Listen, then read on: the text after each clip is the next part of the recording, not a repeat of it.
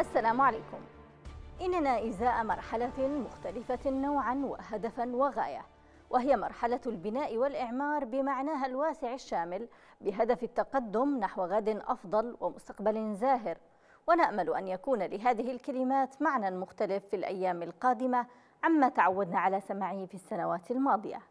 بهذه الكلمات افتتح رئيس الحكومة أحمد عبيد بن دغر اجتماعا موسعا شمل الوزراء ومحافظي المحافظات أفصحت عن ملامح رؤية لها علاقة بإعادة الإعمار والتنمية. الرؤية تركت جدلا واسعا خصوصا كونها تطرقت إلى مشاريع كب... إلى مشاريع كبيرة وخطط واسعة. بدأت بتعميق ميناء عدن وتوسيعه لتشمل الوضع الاقتصادي والصحي والتعليمي وأحل معضلة الكهرباء من خلال ثلاث محطات مركزية. صياغة أهداف عامة للمرحلة القادمة وفق رؤية اقتصادية واجتماعية وثقافية شاملة ووضع الخطط وإعداد الدراسات والتصاميم على نحو عاجل. هذا ما ورد أيضا في ملامح تلك الرؤية التي حضرت في الاجتماع الموسع بشكل لافت دون تحضيرات إعلامية مسبقة. المساء اليمني يناقش ملامح الرؤية الحكومية بين الواقع والمأمول. ما دلالة توقيت الرؤية خصوصا أنها قفزت على الأولويات التي ينتظرها الشعب من الحكومة من بينها حل أزمة الرواتب جذريا وتشغيل المرافق الخدمية. هل نحن أمام توجه حقيقي لإعادة الإعمار وتحقيق تنمية شاملة؟ خصوصا أن ملامح الرؤية جاءت بعد الحديث عن استعداد السعودية لدعم إعادة الإعمار بنحو عشرة مليار دولار.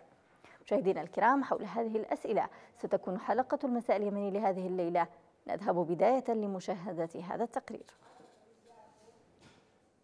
معالم رؤية جديدة للحكومة قفزت إلى السطح فجأة ودون ما مقدمات. جاءت تلك الملامح في اجتماع موسع لأعضاء الحكومة ومحافظي المحافظات. جرى الحديث خلاله من طرف رئيس الحكومة عن مرحلة مختلفة نوعا وهدفا وغاية وهي مرحلة البناء والإعمار بمعناها الواسع الشامل كما أشار. استهل ابن دغر الحديث عن توجيهات للرئيس هادي تقتضي صياغة الأهداف العامة للمرحلة القادمة وفق رؤية اقتصادية واجتماعية وثقافية شاملة ووضع الخطط وإعداد الدراسات والتصاميم وعلى نحو عاجل في مجالات منها الكهرباء والتعليم والصحة والمياه والطرقات والاتصالات. فيما يتعلق بالتوجيهات التنفيذية. أشار ابن دغر إلى أن التوجيهات الرئاسية تقضي بتطوير وتوسيع وتعميق ميناء عدن بالتعاون مع الأشقاء والأصدقاء وتهيئته لاستقبال السفن الكبيرة. الكلمة شملت مخرجات من بينها تشكيل لجنة لإعداد الخطة العاجلة لمرحلة السنوات الخمس القادمة برئاسة وزير التخطيط والتعاون الدولي وعضوية وزراء المالية والصناعة والزراعة والثروة السمكية والنقل والاتصالات والتربية والتعليم والصحة والسياحة والثقافة. دلالة توقيت وإطلاق ملامح الرؤية والحديث عنها وضعت العديد من التساؤلات من قبل متابعين كثر يرونها قفزا على واقع وأولويات الحكومة والتي في مقدمتها حضور الدولة في المناطق المحررة وأولويات عاجلة تتمثل في الرواتب وتشغيل المرافق الخدمية المتصلة بيوميات الناس.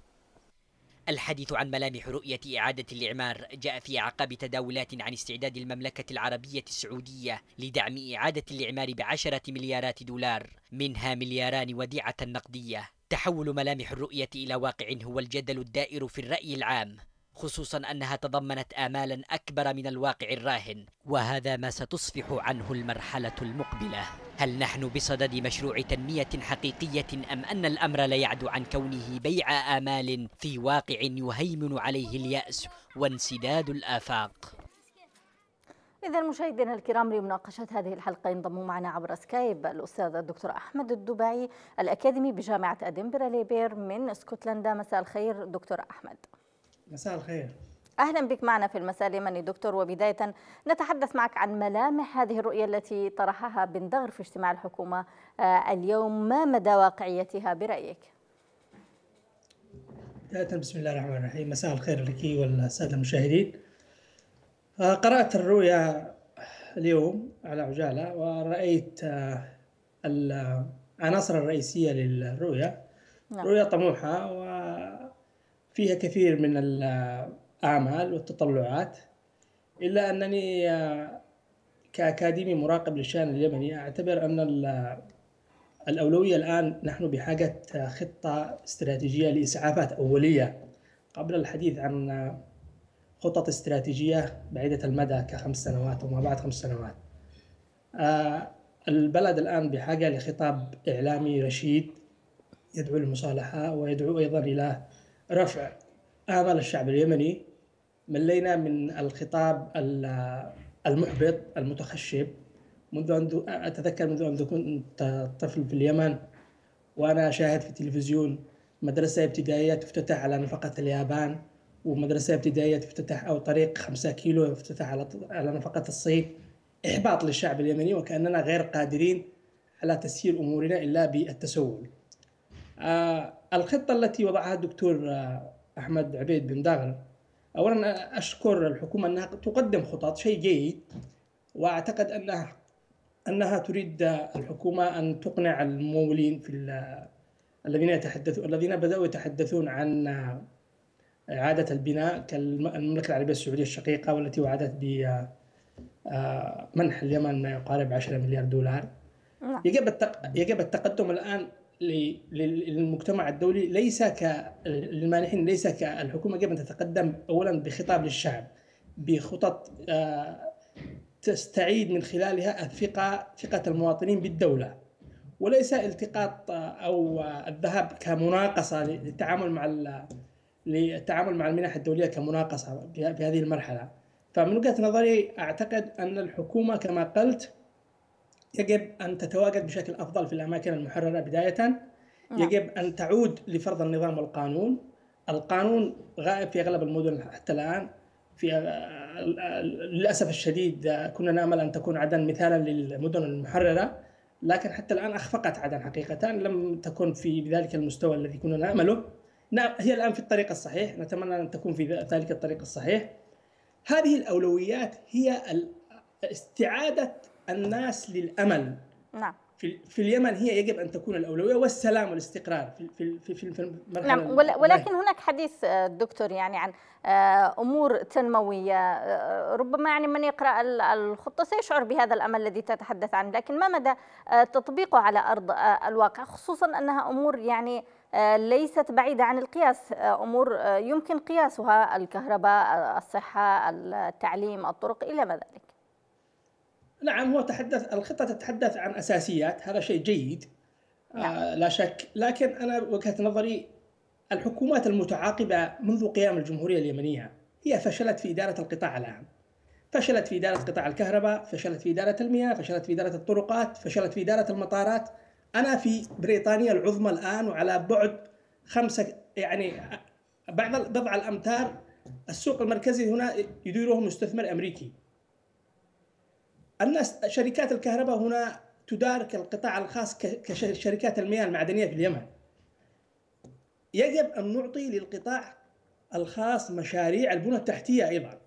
نعم. النظره النظره النظرة القاصرة لأن الدولة هي التي تستطيع أن تدير فقط المطارات وتستطيع أن تدير قطاعات المياه والكهرباء نعم لكن هناك أيضا الدكتور يعني نظرة هذه بدائية حقيقة. نعم يعني هل هذه الخطط قد تتجاوز هذا الفشل؟ يعني أنت تتحدث عن إتاحة الفرصة للقطاع الخاص، يعني مثلا مشروع الكهرباء هناك مستثمر آه، فعلا سيكون شريك مع آه، الحكومة لإدارة آه، هذا المشروع، هل يعني هذا ما ترمي إليه؟ نعم شيء جيد. الحكومة يجب أن تبني مشاريع الآن، يجب أن تبني مشاريع استثمارية وتستفيد اولا من رأس المال اليمني المهاجر. أنا أدعو الحكومة اليمنية أن تقدم مشاريع مفتوحة في القطاعات المتعددة، في قطاع نعم. التعليم، في قطاع الطاقة، في قطاع المياه، في قطاع المطارات والنقل. ثم تستدعي تقوم بمؤتمرات تجذب من خلالها المستثمر المحلي والمستثمر الإقليمي والمستثمر الدولي. يجب أن نتحدث بلغة مشاريع في هذا العصر. أنت عندما تقدم مشروع في بلد واعد كاليمن بأهميته الاستراتيجية بكثافته البشرية هناك الكثير من عوامل النجاح لهذه المشاريع. لا يجب التخوف ومن من من الانفتاح الاقتصادي. لا يجب التخوف من وضع مشاريع تقوم الدولة أيضا كمستثمر فيها عبر القطاع المختلط. يجب أن الدولة الآن تدار الحكومات الآن تدار بشكل بعقليات مختلفة في هذا العصر. نعم. الدولة يجب أن تقوم أحيانا دورها يكون كمستثمر. هي في الأخير تقوم ك كمايسترو ينظم العلاقات الاقتصادية في البلد يؤطر القوانين يجذب الأمن للبلد ويجعل القطاع الخاص والقطاع العام يشتغل تروس الإنتاج تدور في هذا البلد. نعم. إذا اسمح لنا دكتور. إذا اسمحي لي فقط. أما نعم. اذا فقط بقينا نكرر أن الدولة هي الوحيدة التي تقوم بهذا المشروع أو بذاك.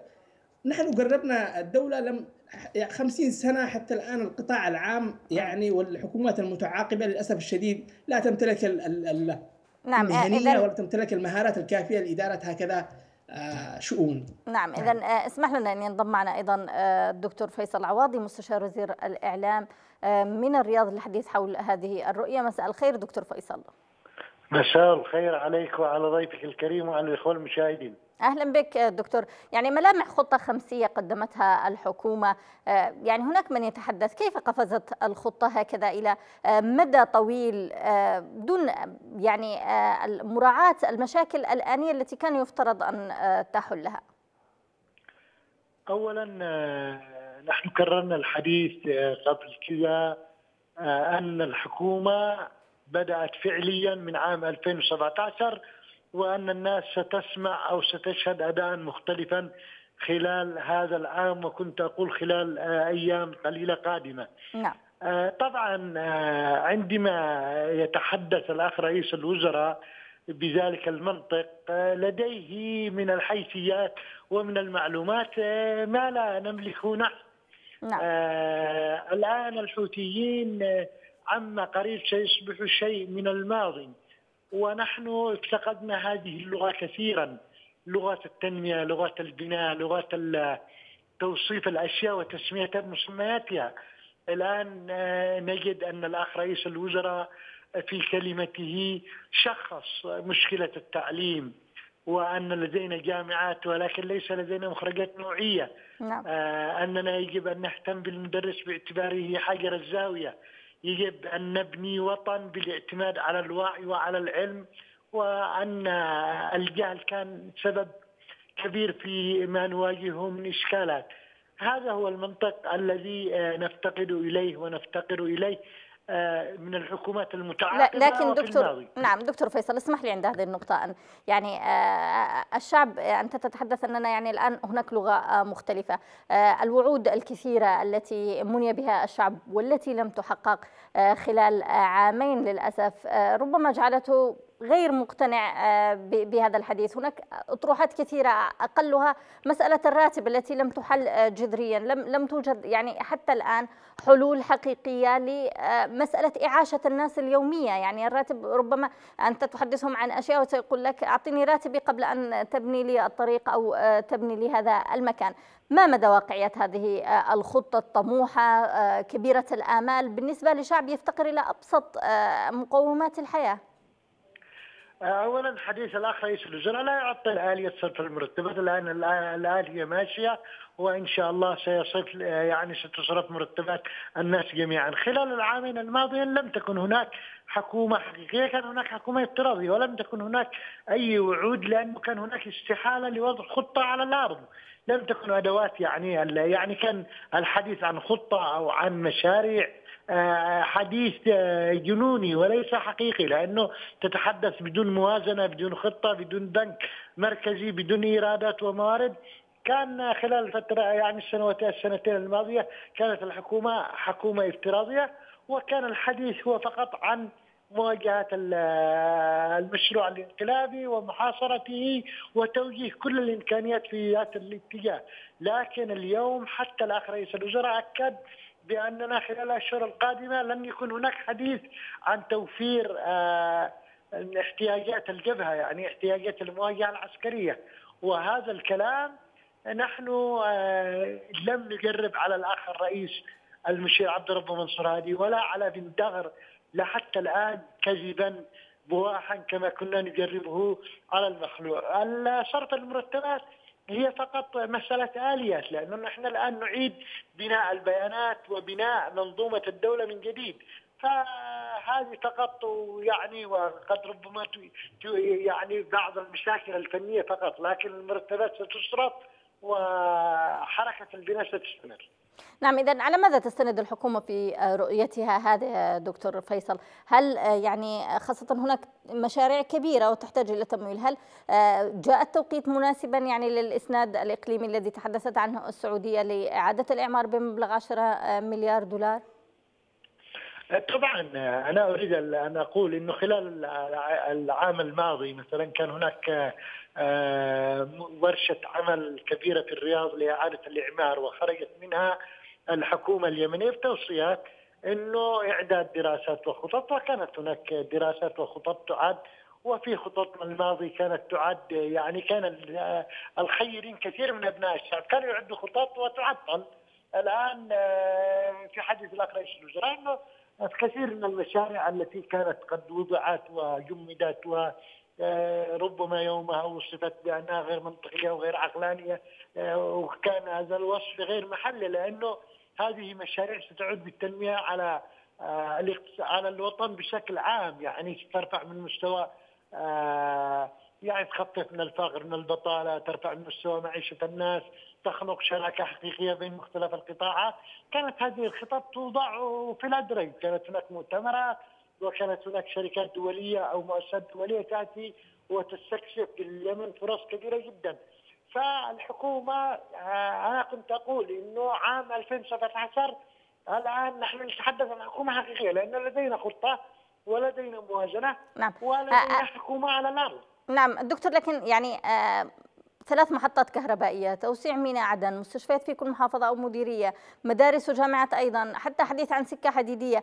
كل هذه الوعود ألا تخشى الحكومة أنها أمام اختبار صعب يعني في نظر الشعب؟ إن لم تحقق هذه الوعود ستفقد ثقته تماما؟ بالتأكيد طبعا أن الحكومة تدرك هذا الكلام جيدا وما أطلقت هذه الوعود إلا والحكومة واثقة كل الثقة من قدرتها على التنفيذ ومن توفر إمكانية التنفيذ، ليس أيضا بعود وعود مبنية على وعود ولكن وعود مبنية على إمكانية حقيقية للتنفيذ. لأن الشعب لم يعد يحتمل مزيد من الوعود، الشعب مجروح، الشعب منهك، الشعب دمر وقتل وشرد ولا بد فعلا من أن نبدأ مرحلة جديدة مع الشعب يستعد فيها ثقته بنفسه وبحكومته. نعم.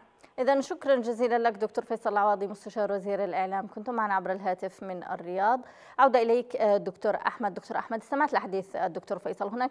يعني ثقة بهذه الوعود التي طرحت ثقة بالحكومة. ثقة ب 2017 أنه سيأتي بجديد من خلال هذه المشاريع العملاقة. برأيك دكتور وأنت متابع عن قرب ل يعني الشأن. هل يمكن تحقيق هذه الوعود فعلا على أرض الواقع؟ بداية استمعت لصوت الحكومة عبر مستشار وزير الإعلام. شيء جيد أن تكون الحكومة واثقة من نفسها هذا شيء مطلوب حقيقة يعني وهذا يسعدني جدا. لكن دعيني أتحدث بشكل دقيق الآن. يجب أن تكون في اليمن إذا أردنا تنمية حقيقية يجب أن نهتم أولا ببناء الإنسان اليمني. بناء الإنسان اليمني من وجهة نظري الشخصية أهم من بناء إعادة بناء العمارات والشوارع أو البنيه التحتيه الآن يجب أن تقصد أن هناك شروخ ولدتها الحرب نفسيه نعم نعم نعم. نعم وتباين شديد بين الحرب المجتمع. الحرب ولدت اوجاع كثيرة. الإنسان نعم. اليمني من خمس إلى ست سنوات الآن يعاني بشكل لم يعاني من قبل حقيقة يعني. إذا وأنا الآن في ادنبرا أعاني من وضع اليمن. كيف الإنسان اللي عايش في داخل تعازو وعايش في داخل اليمن بشكل عام؟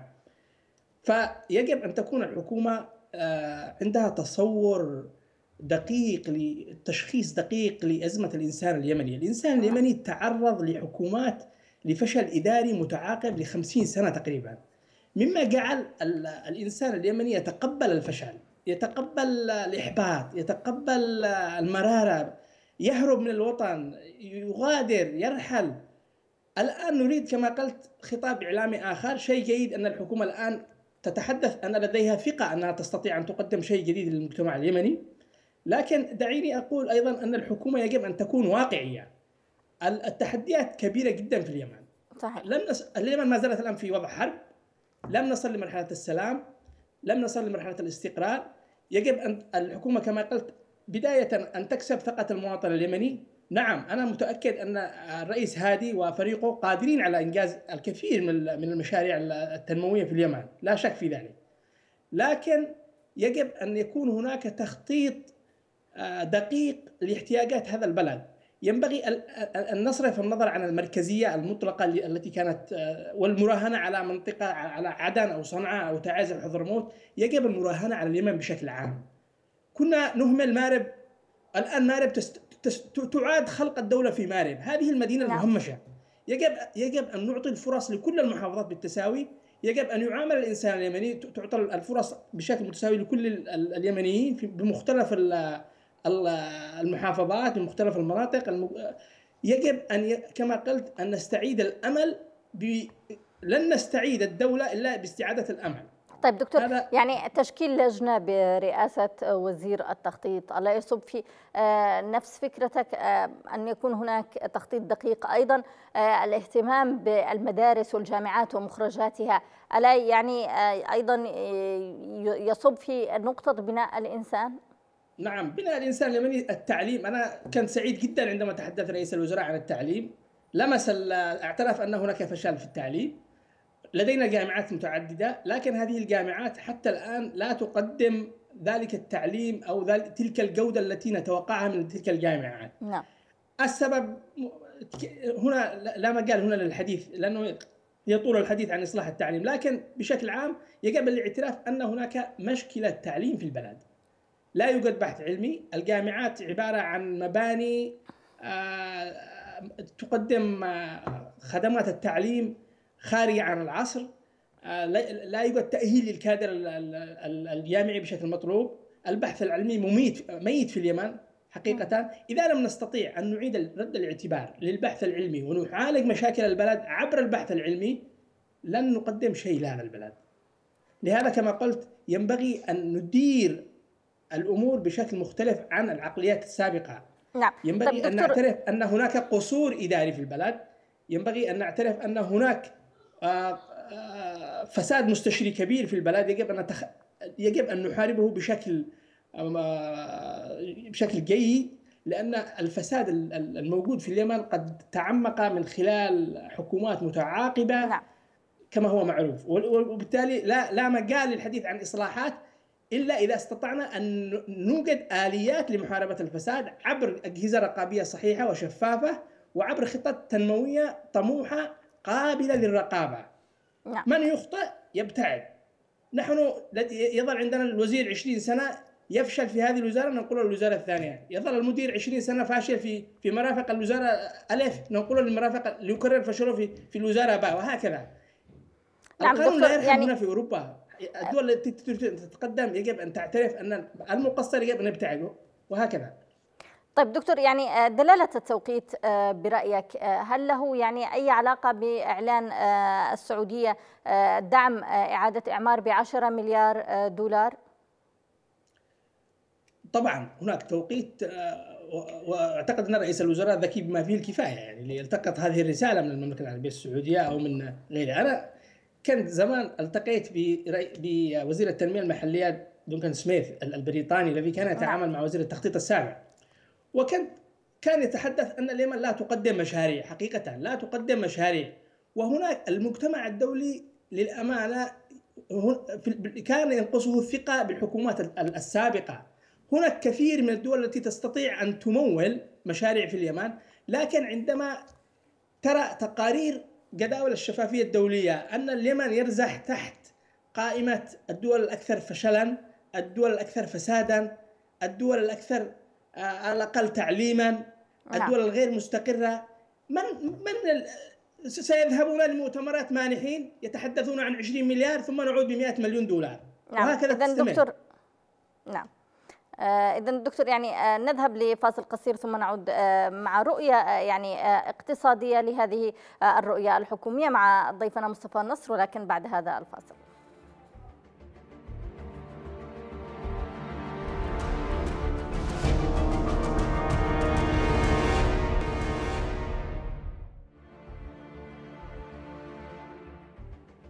أهلا بكم من جديد مشاهدينا الكرام. مرحبا بك مرة أخرى دكتور أحمد وينضم معنا أيضا عبر الهاتف الأستاذ مصطفى نصر رئيس مركز الدراسات والإعلام الاقتصادي من القاهرة. مساء الخير أستاذ مصطفى. أهلا وسهلا. مساء النور لك والمشاهدين الكرام. أهلا بك معنا أستاذ مصطفى. يعني هناك ملامح رؤية قدمتها الحكومة لخطة خمسية. حدثنا عن الجانب الاقتصادي ومدى يعني واقعية ما تضمنته تلك الرؤية؟ أعتقد أنه ما طرح في الرؤية هي من خلال اجتماع مجلس الوزراء مؤخرا في عدن.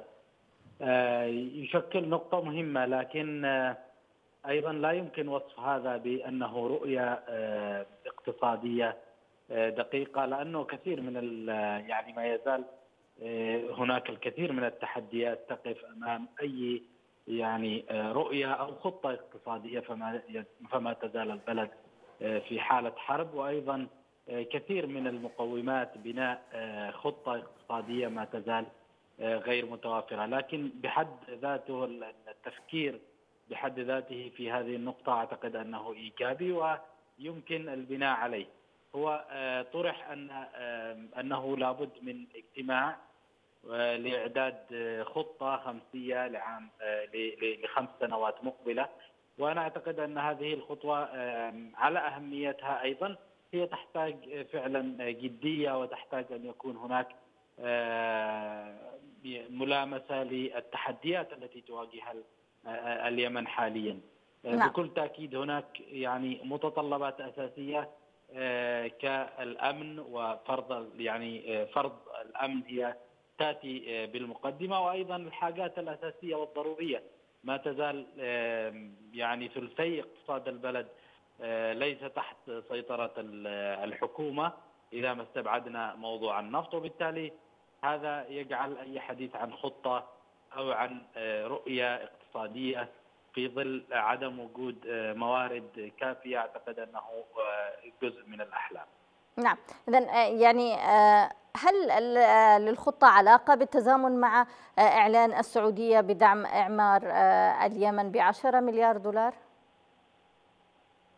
بالنسبة للدعم الذي تم الحديث عنه هذا أعتقد أنه مطلب ملح واذا ما تم فعلا سواء كان إيداع 2 مليار دولار في الكواديع في البنك المركزي أو دعم إعادة الإعمار هو أعتقد أنها خطوة مهمة وضرورية لإعادة استقرار الاقتصادي في البلد.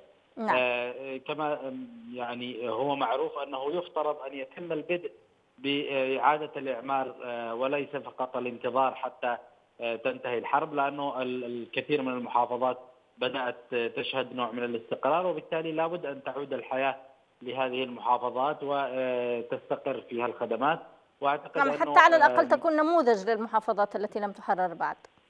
بالضبط. وهذا وهذا هو المطلوب من الحكومة أنها فعلا تصنع نماذج جيدة في في المحافظات التي تسيطر عليها. وهناك الحقيقة تحسن نسبي نحن اشرنا إليه في تقريرنا الذي اصدرناه مؤخرا في بعض المحافظات التي تسيطر عليها الحكومة. هناك تحسن نسبي لكن أيضا هناك احتياج كبير وهناك تحديات ومعيقات يفترض أن تكون الحكومة عند مستوى هذا التحدي وأن يكون لديها وحدة اولا وحدة صناعة القرار والامر الآخر أن تكون لديها أولويات.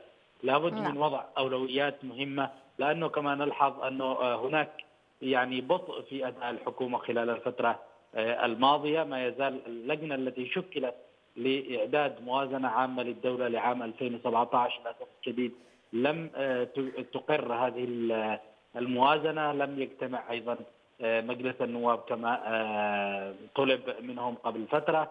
كثير من المؤسسات الحقيقة بحاجة إلى أن تعود وتعمل لكي فعلا يتم تنفيذ الخطة، الخطة ليست فقط إعلانها هو المهم أو كتابتها أيضا وإنما الأدوات لتنفيذ هذه الخطة هو النقطة المحورية وأدواتها يتطلب أن تكون هناك دراسة دقيقة وتشخيص دقيق للأولويات وأيضا أن يكون هناك أداء كفء من قبل الحكومة لابد أن يكون هناك وحدة للقرار وأيضا فاعلية على الأرض لكي تستطيع أن تنفذ ما تقوله من خطط ومن رؤى. نعم إذا شكرا جزيلا لك الأستاذ مصطفى النصر رئيس مركز الدراسات والإعلام الاقتصادي. كنت معنا عبر الهاتف من القاهرة. عودة إليك دكتور أحمد. دكتور هناك يعني طرح الأستاذ مصطفى كثير من النقاط ربما استمعت إليها. يعني هناك لابد يعني تحدث عن وجود أدوات لتنفيذ هذه الخطة. قادمة من المؤسسات التي لابد من تفعيلها. أولا حتى نستطيع أن نحقق هذه الخطة. دراسة دقيقة تشخيص أيضا للأولويات وحدة للقرار الذي لابد أن تتخذه الحكومة. استمعت الحديث الدكتور الأستاذ مصطفى. كان كلامه جميل حقيقة عندما تحدث عن نماذج. نعم. النماذج التي يجب أن تقدمها الحكومة اليمنية للناس في المناطق في المناطق المحررة بحيث انها استطاعت أن تقدم نماذج مشرفة ونماذج ناجحة سوف تختصر مسافات كثيرة في تحقيق اولويات التنمية في البلاد. نعم. احب أحب أن أتحدث عن قصة النماذج التي يجب أن تطبقها الحكومة اليمنية وهي يجب كما حدثت هنا في مثلا في في أوروبا عند بداية النهضه الصناعية الكبرى تعاملنا عن طريق تعاملت أوروبا عن طريق بناء المدن الكبرى أو النماذج الناجحة. نعم. فهذه في اليمن عندما ننظر لليمن نحن بحاجة لاعتبار ست مدن كبرى هذه من وجهة نظري الشخصية التي يجب أن تكون التركيز عليها بحيث أنها تستطيع بقية المدن أن تحذو حذوها، هذه المدن الكبرى هي حضرموت نعم. وعدن وصنعاء وتعز الحديدة ومارب. أريد أن منطقة مارب يجب أن تنمى لأنها كانت مهملة حقيقة. منطقة مارب نعم. شبوه والبيضاء. هذه المناطق لو لو استطعنا أن أن نقدم حضور كبير نعم أعود إليك أستاذ الدكتور أحمد الدبعي. اسمح لنا أيضا. ينضم معنا عبر الهاتف الأستاذ فهد سلطان الكاتب والناشط السياسي. مساء الخير أستاذ فهد. مساء الخير والعافية أهلا بكم مشاهدي الكرام أهلا بك معنا أستاذ فهد يعني نود أن نسمع تعليقك حول يعني الرؤية التي قدمتها الحكومة والخاصة بإعادة إعمار وخطة خمسية مقبلة. لم أسمع السؤال جيدا. نعم أستاذ فهد أود أن أسمع رأيك حول الخطة التي قدمتها الحكومة والرؤية التي تحدث عنها بن دغر. نعم تحدث اليوم رئيس الوزراء الدكتور أحمد بيتندق عن جمله من القضايا أهم القضايا التي تناولها أن هنالك ربما نحن مقبلون على مرحلة جديدة هو تكلم بهذا النص اننا مقبلين على مرحلة جديدة. تزامن كلامه وهو للمرة الأولى بهذه اللغة وبهذه القضايا التي طرحها. يتزامن ذلك مع قرار مجلس الأمن المرتقب الذي هو بالإجماع حول يعني حول انتقال السلطة كاملا إلى اليمن. الجديد في ما طرحه رئيس الوزراء هو فيما يتعلق في مسألة الإعمار وحديثه عن مرحلة ما بعد الحرب. لا يعلم بعد ما هو ما هي نوع المبادرة المقدمة. كما تحدث حول زيارته زيارة الرئيس عبد الرب منصور هذه لعدد من الدول الخليجية مؤخرا. لا يعرف حتى الآن ما هي نوع المبادرة المقدمة لحل الأزمة في اليمن. وهل ما طرحه رئيس الوزراء بهذا الحجم يعني يمكن أن يعني أن تكون مرحلة أخيرة من جولات يعني الصراع والحرب داخل اليمن. لا يعلم حتى الآن ما يدور خلف الكواليس حول المرحلة القادمة التي تكلم عنها رئيس الوزراء. متزامن ذلك مع قرار مجلس الأمن ومع لفظه انتقال كامل للسلطة، هل الانتقال سيكون وفق مبادرة كيوي التي طرحت في فترة سابقة وتم رفضها من قبل الرئاسه اليمنية أم سيكون حسب ما يرى البعض وخاصة من يعني من من طرف الحكومة أنه وفق قرارات مجلس الأمن السابقة ووفق ووفق المبادره الخارجية ومخرجات الحوار أو الحوار الوطني. نعم أستاذ نعم. فهد إذا يعني هذه ملامح الرؤية التي تضمنت تشكيل لجنة أيضا برئاسة وزير التخطيط يعني هل نستطيع أن نقول أننا أمام مرحلة جادة يتم الحديث عنها أم أنها مرحلة مبالغ بآمالها ووعودها؟ هي يعني هنالك تخوف كبير هنالك تخوف كبير أن يكون هنالك آه، سير نحو آه، تقسيم آه، جزء أو جغرافي على الأقل في المناطق التي يسيطر عليها الحوثيون لأنه حتى الآن لا بوادر من قبل الحوثيين أو قبل الأنقلابيين على الانصياع لقرارات مجلس الامن وترك السلاح وتسليم الدولة وخروج الميليشيات من المدن والعودة إلى حوار جاد في هذه المناطق. حتى فيما يتعلق في اللجنة التي تشكل فيها هذا يعني في في هذا الاتجاه حتى المناطق آه، التي تحت سيطرة الشرعية غير مستقرة ولو على الأقل نسبيا آه، لا زالت هنالك مدينة تعز آه، يعني غير محسوم فيها الأمر بشكل كبير. لا يعرف ما هو ما يعني ما هي هذه المبادرة التي يتكلم عنها رئيس الوزراء؟ كما قلت لك هل قرار كبير في إبعاد يعني ربما هنالك من يذهب أو بعض المحللين أو بعض المراقبين يروا أن إبعاد الرئيس هادي ونائبه وهي الخطوة التي كانت يضغط عليها آه، جماعة الحوثيين في فترة سابقة. هل آه، يعني يعني كل هذه القضايا مطروحة للنقاش حتى الآن؟ لا بوادر حقيقية.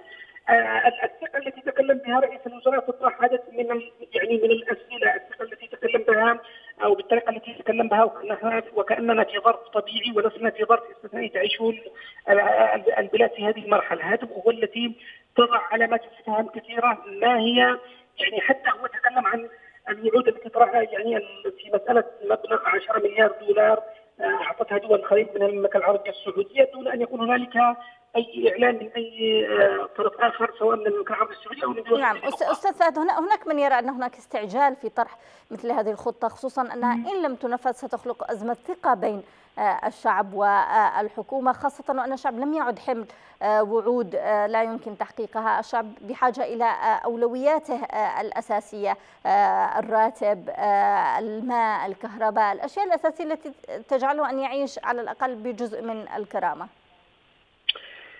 طريقة إدارة يعني نكون شفافين أو على الأقل نكون صريحين بشكل كبير. طريقة إدارة المناطق المحررة حتى الآن آه، هي طريقة مربكة، طريقة لم تكن موضوعية، لم تكن منطقية، يعني شابهت كثير من القصور ولا زالت قائمة حتى الآن. بل آه، الطريقة التي أجيرت بها المناطق المحررة كانت سبب أو واحدة من الأسباب التي آه، أحجمت المناطق الأخرى تحت الانقلابين أن تنضم. يعني الطريقة التي تدار بها البلاد لم تكن يعني مثلا على سبيل المثال أنا سأضرب واحدة من الأمثلة ربما غير المكشوفة آه، منذ أن تشكل الحزام الأمني في محافظة عدن وقف عدد من السياسيين أمام الرئيس هادي بأن هذه الطريقة سيكون لها كوارث وستؤدي إلى دور خاطئ في مدينة عدن، أنا سأضرب مثل فقط.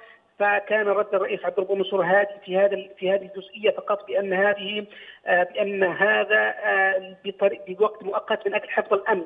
اليوم تحول هذا الحزام إلى يعني على الأقل إلى قنبلة لا يدرى يعني أو أو على الأقل على عبء كبير على الحكومة ربما لاحظناه في فترات سابقة.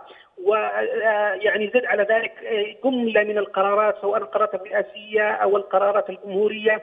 يعني كثير من الارباكات التي حصلت خلال الفترة السابقة ساهمت بطريقة أو بأخرى في تأخير عملية يعني في حسم المناطق المحررة وفي تأخير عملية الحسم على مستوى الحوثيين أو على نعم. مستوى البلد بشكل كامل.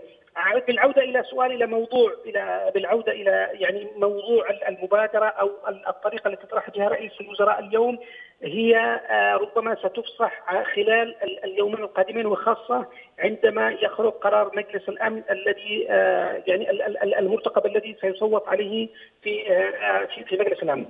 نعم. إذا شكرا جزيلا لك أستاذ فهد سلطان الكاتب والناشط السياسي. كنت معنا عبر الهاتف.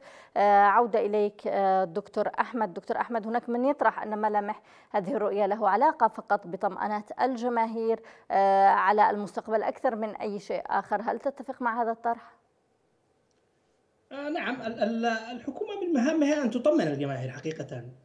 لكن أيضا يجب أن تطمنهم بشكل منطقي وعقلي يعني. في, الف... في أنا كما قلت في في النقطة الأولى التي تحدثت عنها أن نحن نمر بمرحلة نحن نحتاج إلى خطط إسعافات أولية الآن.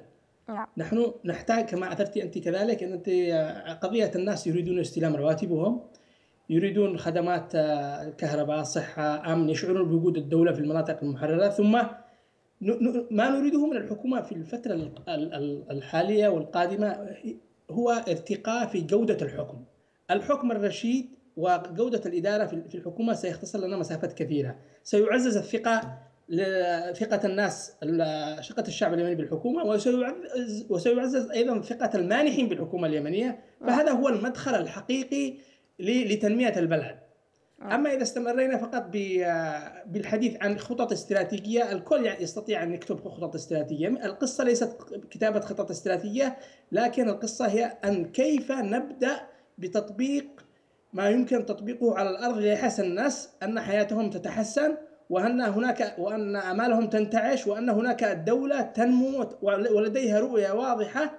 نحو أخذ هذا الشعب اليمني لمستقبل أفضل ومستقبل زاهر إن شاء الله. نعم إذا دكتور يعني آه، هل يمكن آه، لنا القول أن هذه الرؤية هي رسالة آه، من الحكومة أنها تمتلك القدرة على يعني أن تقدم كل ذلك وأن تقوم وأن تنهض من جديد لتقديم هذه الخدمات إذا ما تم إسنادها إقليميا؟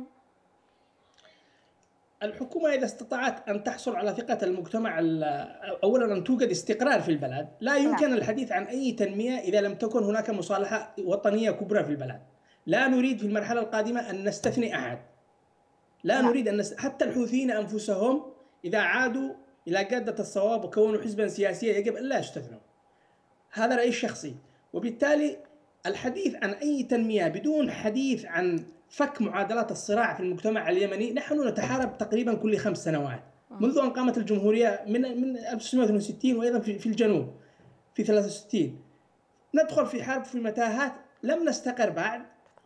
لدينا مفهوم مغلوط للسلطة. نعم. لدينا مفهوم مغلوط للاشتباك بموارد الدولة. آه، لا نستطيع أن ندير مواردنا بشكل صحيح. صحيح. اليمن رغم فقرها الحالي أنا كمراقب كيمني وكمراقب للوضع في الجزيرة العربية وفي المنطقة العربية. اليمن بفقره رغم فقره هو البلد العربي أو الموجود في الجزيرة العربية الذي يستطيع أو يمتلك مقومات تنمية مستدامة. نعم. بلد لديه موقع ممتاز. بلد لديه مناخ ممتاز. بلد لديه شعب منتج إذا أحسنت إدارته. بلد لديه موقع استراتيجي هو الأفضل والأهم في المنطقة. بلد لديه حرب لديه حضارة لديه إرث حضاري كبير ويمكن أن تنشط مجالة السياحة في اليمن ليكون من أكثر الدول جذبا للسياح. نعم. فالبلد لديه مقومات كثيرة. يجب أن نخرج من منطق أننا فقط معول على المعونات. نعم في هذه الفترة الفترة نست... نريد المعونات. كما حصلت الحرب العالمية الثانية خرجت ألمانيا والنمسا من الحرب مدمرتان ثم قامت الدول التي اشتركت في الحرب ببناء تلك ببناء النمسا وألمانيا. شاركت عبر مشروع مرشال وما إلى ذلك. نحن نحتاج الآن إلى مرشال عربي في اليمن لإنقاذ اليمن كمجتمع وكاقتصاد وكدولة حتى نستطيع أن نصل بالمجتمع اليمني إلى الطريق الصحيح ونستطيع بأنفسنا أن ندير مواردنا بشكل أفضل عبر الاعتراف. اولا أننا فشلنا سابقا في إدارة الدولة ويجب أن نتبنى آه، طرق جديدة للإدارة إدارة حديثة إدارة عصرية كفاءات جديدة مهارات يجب أن ننميها. أما الحديث عن مجرد فقط خطط هنا وخطط هناك بدون عمل على الأرض لاستعادة الثقة بأنفسنا اولا كمجتمع يمني يجب أن نستعيد الثقة بأنفسنا. أنا عندما أتخاطب مع مع كثير في في صفحات الفيسبوك وفي الناس محبطون في اليمن بشكل صحيح. كبير. الناس محبطون بشكل كبير جدا. شباب يرحلون. تجار يذهبون إلى الصين. علماء يخرجون من الجامعات ليتجهون للخليج وغير الخليج. الناس الآن يريدون أمل. الحكومة يجب أن تخاطبهم بلغة كما قلت بداية بلغة جديدة.